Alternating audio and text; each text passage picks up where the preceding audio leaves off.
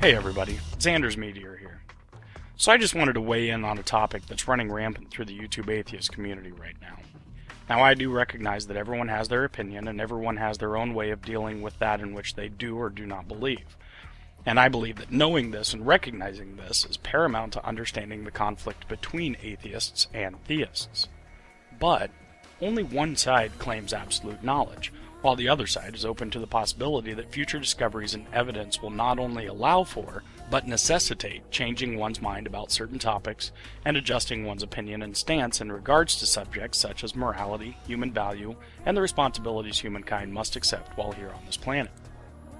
Being on any one side of a conflict or debate brings with it the responsibility to not only educate yourself on the topic at hand, but also to understand the arguments from the opposing side. Using the Socratic method of inquiry, each side has the opportunity to debunk or discredit the other side by civil discourse or logic. Now, this method allows civility and respect to be given to the participants without resorting to ad hominem attacks while ensuring any red herring arguments will be filleted as the conversation continues.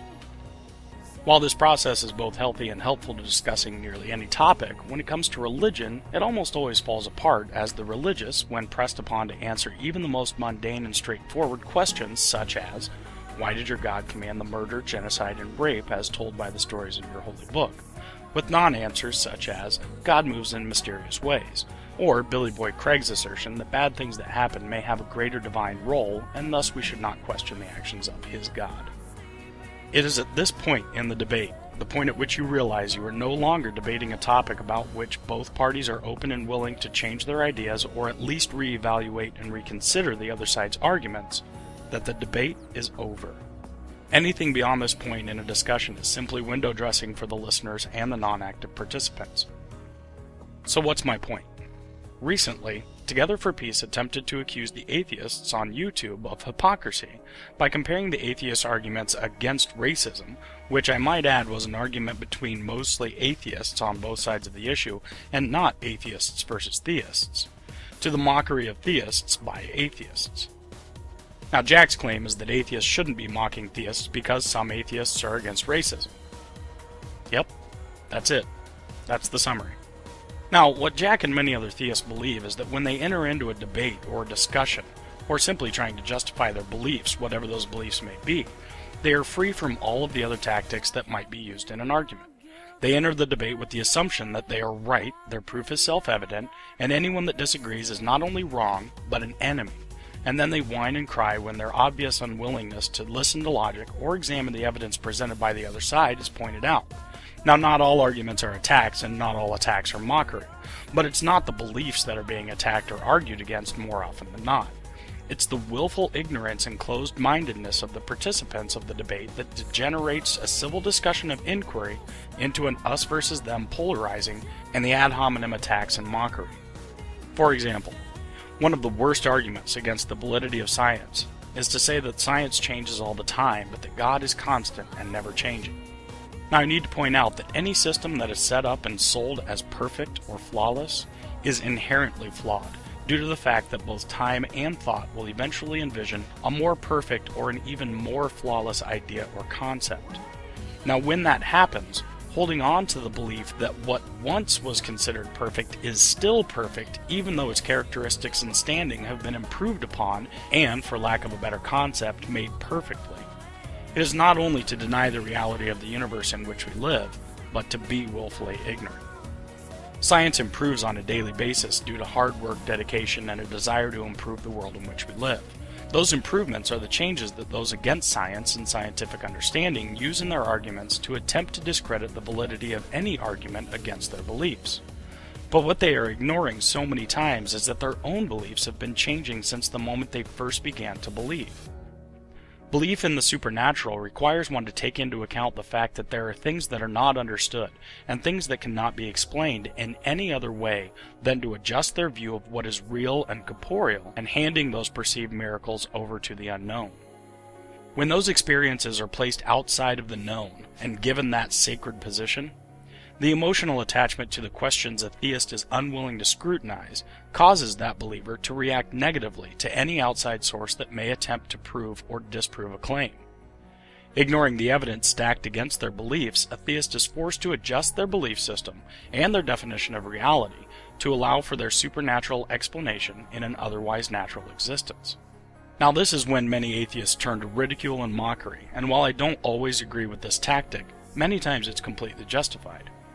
You see, while many theists will use technology brought about by the science they so often rage against, they will then turn around and say that while technology and modern medicine have brought us further along as a species, it hasn't brought us meaning, or happiness, or a purpose, and that is why their religious beliefs have merit and should be adopted by all other humans.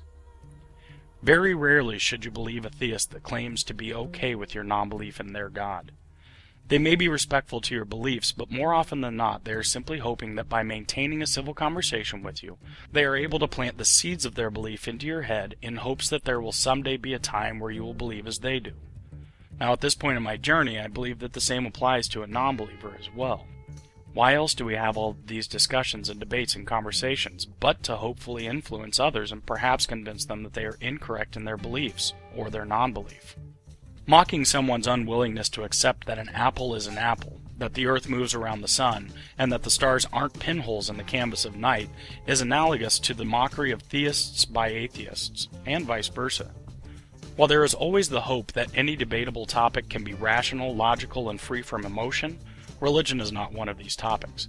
Keeping this in mind when talking to or arguing with a theist is necessary up to the point where either side has shown a complete disrespect for the other's positions and arguments, and has decided that there is no evidence or logical explanation or appeal to emotion, which is where 9 out of 10 theists will go when all else has been stripped away from their arguments, that will convince them that they are simply holding on to a view that has been discredited and proven to be false.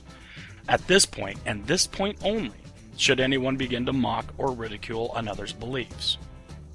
So, all of this to say what exactly? I believe that mockery is a useful tool in the arsenal of logical thought and open minded debate in the discussions concerning the nature of the universe, but it shouldn't be the first choice.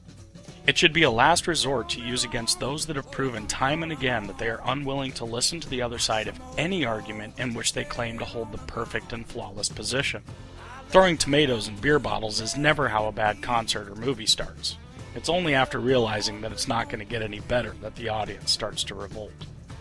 I recently put up a rambling video over at Spotlight on Xandar that sort of touches on this same topic, and I do encourage anyone that's actively debating with or planning on debating a theist to check it out just so you can go into the conversation with more information and maybe a better understanding of the theist mindset.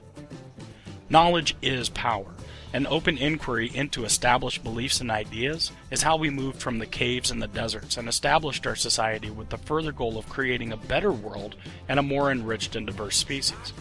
When ignorance is a lack of knowledge, it can be remedied by education and patient delivery of evidence. But when one has decided to be willfully ignorant and eschews all claims and evidence to the contrary, ridicule and mockery should be expected. Now, if you can't deal with being pointed at and laughed at, you should strive to either educate yourself on the topic or do what I do when I don't understand what someone is talking about. Sit down, shut the fuck up, listen, and learn. Have a good one, everybody.